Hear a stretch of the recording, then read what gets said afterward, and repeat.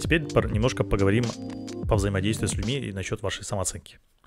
Одно дело, когда вы прорабатываете самооценку внутренней по поводу прошлого, там, да, учитесь оценивать самого себя со своих глаз, а люди все равно будут встречаться в вашей жизни, которые будут вам, ну, которые будут вам говорить какие-то неприятные вещи. И вот ваша задача если вам сказали что-то неприятно, и вы его не просили по этой теме что-то говорить, ну, он как-то вас пытался там скорректировать, да, критику какую-то сказать, и вы его об этом не просили, и вам неприятно, вы имеете право, кстати, расстраиваться. Я не говорю о том, что вы вообще должны не расстроиться. Но вам реально неприятно.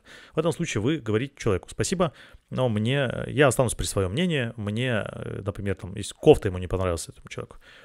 Спасибо, но мне это не, не обязательно. Ну, то есть давай не будем это обсуждать и все он продолжает, да, то есть еще раз сказал про кофту, ну, либо про что-то другое.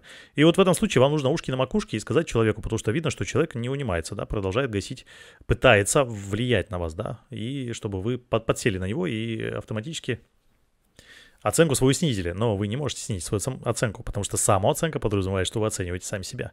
Но этого человека нужно остановить, и остановить нужно корректно, подразумевает, что вы человеку говорите, мне сейчас неприятно, то, что ты говоришь. Давай больше так, мы не будем это обсуждать. Если ты продолжишь, мы с тобой прекратим общение. И здесь очень важный нюанс. Если вы так скажете, и человек продолжает, это говорит о том, что он вас не ценит. Это уже немножко другая тема, да, когда ценят вас другие люди.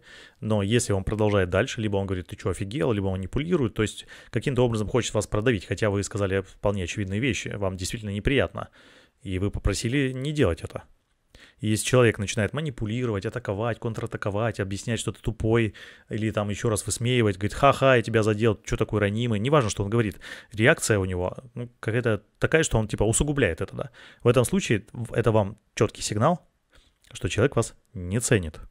И вы с этим человеком прощаетесь, потому что дальше с ним нет смысла общаться, потому что он вас не ценит.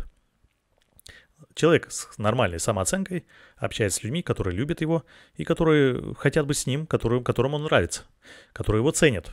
Логично? Логично.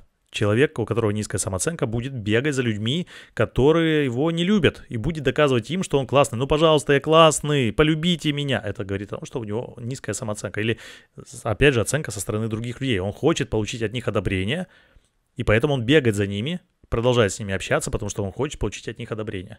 Вот это важный нюанс. И таким образом очень легко отфильтровать людей, которые настроены на вас, которые ценят вас и не хотят портить общение, взаимоотношения с вами. И люди, которым насрать. Так люди, которым насрать, от них нужно избавляться, потому что они в любом случае априори вас не ценят. Вы для них никто, вообще никто. И вам нужно искать людей, которые вас ценят, которые вас любят, которым вы нравитесь.